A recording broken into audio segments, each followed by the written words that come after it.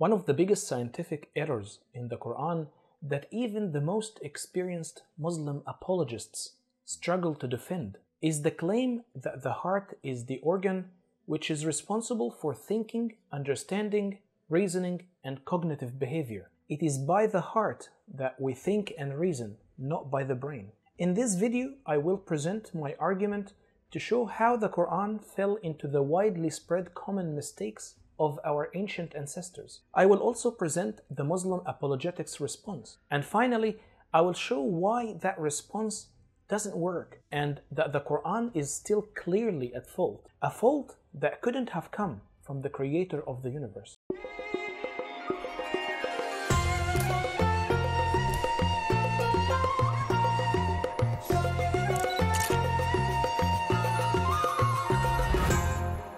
As we all know, the Quran is allegedly the verbatim words of God dictated to Prophet Muhammad word for word, or at least that's what Muslims believe. So when God says in Surah 22, Surah Al-Hajj, أفلم يسيروا في الأرض فتكون لهم قلوب يعقلون بها وآذان يسمعون بها meaning have they not traveled throughout the land so their hearts may reason and their ears may listen? God is clearly stating that the ears are the organs for hearing and listening, and the heart is the organ for thinking and reasoning. They traveled throughout the land so their hearts may reason, God said. Then he repeats that again in Surah 7, Surah Al-A'raf, verse number 179. لهم قلوب لا يفقهون بها ولهم أعين لا يبصرون بها ولهم آذان لا يسمعون بها in English, God is saying, They have hearts they do not understand with, eyes they do not see with, and ears they do not hear with. So, here once again, God explains the function of each organ. The ears hear things, the eyes see things, and the hearts understand and rationalize things. The heart, not the brain. The heart is what we make sense and reason with. Numerous times the Quran repeats that claim. Once again in Surah 63 verse number 3 فَطَبَعَ اللَّهَ عَلَى قُلُوبِهِمْ فَهُمْ لَا يَفْقَهُونَ Their hearts have been sealed so they do not comprehend. According to the Quran, we comprehend and rationalize through the heart, not the brain. Now, when Zakir Naik, the famous Muslim apologist, was confronted with this Quranic claim over 20 years ago. He went on inventing terrible lies, providing fraudulent meanings in the Arabic language that absolutely doesn't exist. He claimed that the word heart can also mean intelligence in Arabic, which is absolutely untrue. This is what he said. Have a listen. In the Quran, it is stated that the hearts of the unbelievers are sealed but according to science, it is the brain that thinks and not the heart. Your comment, please. The brother posed a question that the Quran says that the unbelievers' hearts have been sealed by Allah subhanahu wa ta'ala. Today science tells us it is the brain that thinks and not the heart, and I do agree with him. So even the Quran unscientific when it says that the heart has been sealed, and I do agree Quran says that in several places, including Surah Baqarah, chapter 2, verse number 7, that Allah has sealed the hearts of the Kafir people. It says that. The seal has been put on the hearts. If you know the Arabic word used here is qalb. The Arabic word qalb has got two meanings. One is heart and the other is intelligence. So if you translate correctly, the word says Allah has sealed the intelligence of the unbelievers. And it's scientifically proven that intelligence has to be sealed, not the organic heart.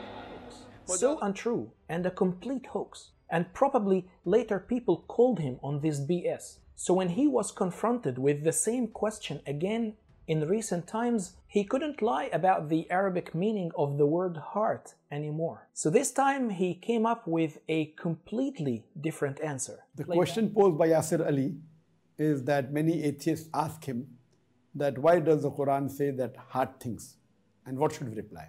The reply to this question is that every language has its own way of conveying. I'll let you give an example. That we normally say that I want to memorize the Quran by heart, or I want to memorize this particular speech by heart. We know very well that the memory is in the brain, it's not in the heart. So when the seat of memory is in the brain, we have to memorize by brain, not by heart. But yet we say, I want to memorize by heart. We tell to our wife that we love you from the bottom of our heart. I love you from the bottom of my heart. Imagine a scientist telling his wife, I love you from the bottom of the brain. Because the love is in the brain, it's not in the heart. But when we say in English, we say, I love you from the bottom of the heart, not bottom of the brain. So this is how language is developed. Even in Arabic language, when Allah says hard things, it is the same way. It is used, a layman, uh, an Arab will not object because that's the language of the human beings. It's Surah Baqarah chapter 2 verse number 7, Allah says, Khatam Allah qulubihim. Allah has put a seal on the heart. Seal on the heart, if you put a seal on the brain. So this is how the language is.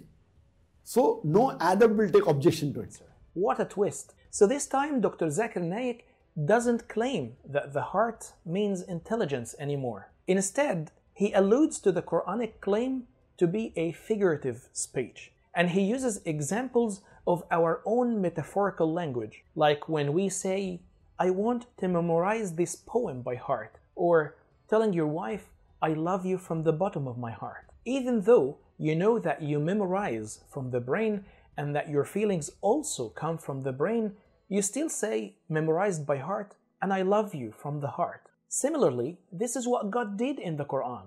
Naik claims.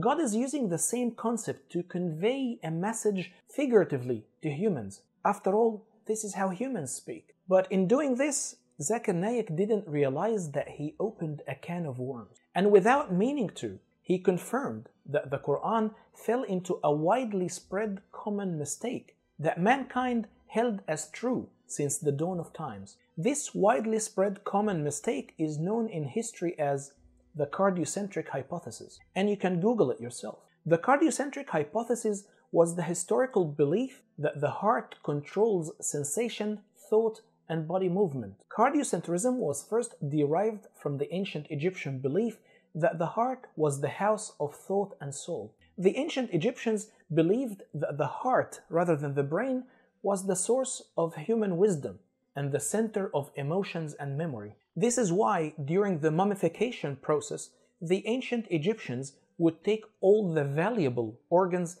out of the deceased body and preserve them in vessels next to the mummy, while they leave the heart and only the heart inside the mummy, because the heart will be judged in the afterlife. As for the brain, it was a useless organ. They didn't preserve the brain. Rather, they used a hook shaped needle to take out the brain through the nose and dispose of it. And like the Egyptians, ancient Mesopotamians too believed that the heart was the organ responsible for intellect and was in control of the motor and sensory systems. The heart, not the brain. It wasn't until the ancient Greeks that we find a division and controversy about the organ served as the seat of the soul and thought. Some favored the heart, or the cardiocentric view, and among them was Aristotle. Others favored the brain, or the cephalocentric view, and among them was Plato and Pythagoras. However,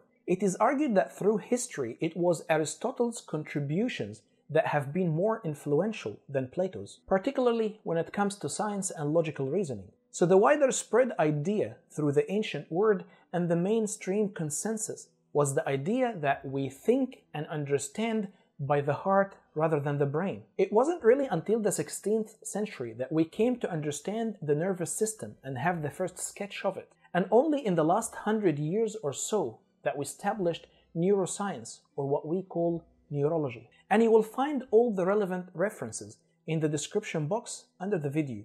Please check them out. So it is no surprise that all our human languages carry the evidence of our ignorance and the long held wrong belief that we think, reason, and comprehend by the heart. It is no wonder that nearly all languages have statements such as memorized by heart or love you from the bottom of my heart. You will find that in Arabic, in English, and many other languages because we didn't know until very, very recently that we love from the brain and we also memorize think, and understand from the brain. We simply didn't know. But didn't the creator of the universe know that? How could God fall into the same trap of human ignorance and send down a book saying verses like, They have hearts they do not understand with, and they travel throughout the land, so their hearts may reason. Didn't God of the Quran know that we think and reason by the brain, not the heart? And if He knew,